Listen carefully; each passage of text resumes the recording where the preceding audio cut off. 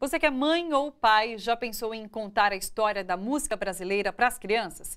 Pode ser difícil encontrar material disponível sobre esse assunto, voltado especialmente aos pequenos. E foi pensando nisso que dois jornalistas e uma cantora e historiadora criaram a coleção Ritmos do Brasil. Já tem livros sobre samba e bossa nova e choro e música caipira. E agora acaba de ser lançado a edição Jovem Guarda e Tropicália. Para a gente saber mais sobre isso, a gente está com Camilo, que é um dos escritores do livro. Seja bem-vindo, Camilo. Obrigado, Thalita. Conta pra gente, foi, foi essa a ideia mais ou menos? Não tinha muito material sobre isso e vocês resolveram lançar essa coleção, foi? Foi isso, como contar para as crianças um pouco da história dos ritmos que a gente escuta. É, as pessoas que a gente, pra gente é muito fácil falar assim, isso é samba, isso é baião, isso é música caipira. E as crianças não necessariamente conseguiam entender isso. Sim. E a gente achou que era legal, até para ver junto, né? Ler junto, ouvir junto, buscar os discos na estante colocar para tocar é uma experiência legal, familiar, assim. Você tem filhos? Você lê para os seus filhos? Então, foi pensando nos seus filhos um pouco que você... Foi pensando nos filhos da Carla, que é uma das autoras, que Sim. os filhos são um pouco maior, mais velhos. As é duas porque a meninas... idade é para 9 a 13 anos, né? É, são... 8 a 13 principalmente, sim, assim. Sim. Os meus filhos hoje, eles têm 5 e 2. Sim. É, mas eles vão chegar lá também. Eles gostam de ver as, as, uhum. as, as ilustrações e eu mostro também as músicas para eles. Foi, foi difícil é, trabalhar com linguagem para jovens? Como que foi isso? É uma linguagem diferente ou conseguiram adaptar bem? Como que foi? É, então, acho que esse foi um dos grandes baratos do nosso trabalho, assim, de que uma, de, tem coisas que a gente para e pensa, como é que a gente vai mostrar, como é que a gente vai falar para a criança, a música, é, o jazz, explicar o jazz para a criança, como é que a gente vai explicar a ditadura militar para a criança. E eu acho Sim. que o tempo todo foi uma coisa que a gente levou em consideração, mas acho que deu para tirar de letra, assim, foi... O livro de agora, principalmente esse Jovem Guarda e Tropicália, ele tem esse contexto é, político, época de ditadura militar? Vocês tratam também sobre contexto histórico? Tem, o tempo todo. Comportamental, roupas, Sim. costumes. E né, nesse livro, principalmente, a gente não consegue trabalhar...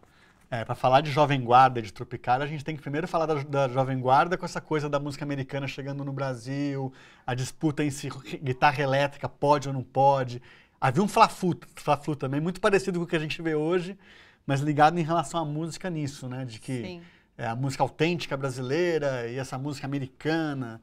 E depois a tropicada toda, para você contar, você tem que falar de ditadura, de censura. É, Caetano e Gil são exilados, né? No finalzinho da tropicália. Vão morar em Londres. Tem a Proibido Proibir, tem prisão. Aquele abraço, por exemplo, a música do Gil, esse nome, ele se dá, ele é, foi feito na despedida do Gil do Brasil e era como os carcereiros falavam para ele quando ele deixou a prisão. Aquele Gil, abraço. aquele abraço. Inclusive, vocês contam de onde vem o nome Jovem Guarda, por exemplo. Vocês trazem esse tipo de informação, né? É, o Jovem Guarda é um barato, porque foi um programa de televisão, né? Ele é um, um ritmo, um ritmo não, né? Um movimento musical que surge com um programa de televisão que tinha esse nome, é, com a Vanderleia, o Erasmo Carlos e o Roberto Carlos. E esse nome do programa foi dado pelo Carlito Maia, curiosamente o mesmo publicitário que, que criou o Optei. É, e ele foi inspirado numa frase do Lenin, por incrível que pareça, que falava que o futuro pertence à jovem guarda, porque a velha guarda já está ultrapassada. Sim. Então ele é uma coisa da juventude daquela época. É bem histórico, né? Traz bastante então é, de, de, história, contexto histórico e, cultural, né? Não só é, da mas o mais legal acho que são os episódios mesmo, né? Como é que é, Roberto conheceu Erasmo? É, como é que a Tropicália nasce é, em 67 com uma vaia monstruosa que o Gil recebe no Festival da Record? Quer dizer, essas coisas são muito gostosas de contar. E como tem sido a aceitação das crianças? São sempre, muito legais, assim. Tem gente que, que eu já, que já, já soube que quis o primeiro, daí que pediu o segundo Bacana. e foi querer comprar o terceiro agora, que está acompanhando a coleção. Uhum. E as famílias também falam muito disso, assim, de que como é legal é, sentar junto com o filho para poder mostrar suas músicas que ouviam e que ainda ouvem também, né? Que é o, reper, é um repertório muito dos pais. É, traz um pouco da memória dos pais, né? É. De, de, viver junto isso de novo com as é crianças. Isso. Vocês trazem também dicas de, de música para ouvir. Daí, falando do movimento, é algumas letras de música que eu estou vendo aqui. É isso, vocês é, dão, assim, dica de playlist, por exemplo? Damos. É. A gente mostra algumas músicas, assim, é, significativas e simbólicas de cada um desses ritmos, de cada movimento. Sim. A gente coloca a letra, conta a historinha de como é que a música foi feita. Splish Splash, por exemplo, que era uma versão de uma música americana. A primeira que, que, o, que o Roberto gravou junto com o Erasmo, essa coisa toda a gente vai contando para compor essa história. É, eu vi que vocês contam que é tanto da, dos pais passando para a criança, mas de repente a criança passando para os pais. pais. O pai não estava tão envolvido nesse ritmo, não é tão fã, mas vai passar a entender melhor também, caso a criança leia para o pai, por exemplo. Sim, caso.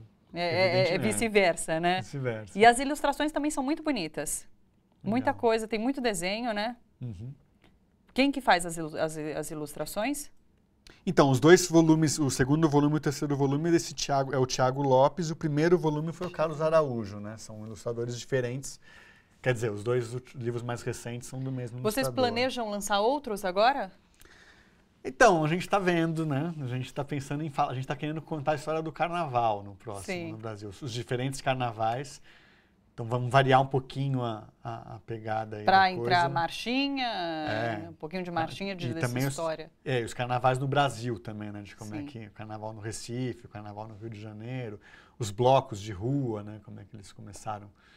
Bacana. É, mas também tem outras ideias, né? A gente não, a gente queria também uma das ideias é, é, poder abordar o baião, o forró também. Ótimo, ritmos. que é, é, bem da cultura brasileira, é, né? Caso. Mas a gente não, não sabe, a gente precisa sentar com a editora para pensar no próximo volume. Sim. Então, a venda na livraria, é isso? Os livros? Estão à venda nas livrarias. Legal, bom presente de Natal. É.